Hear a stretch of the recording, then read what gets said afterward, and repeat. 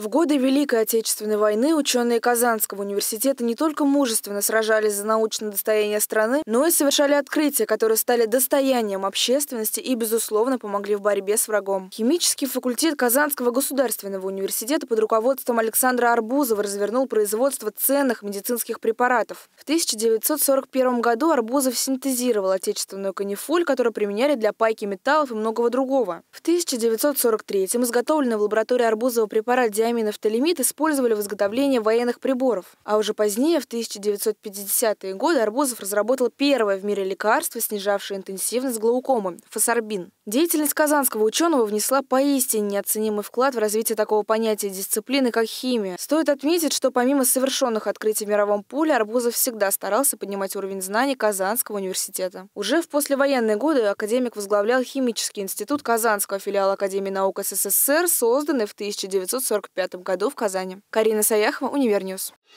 Thank you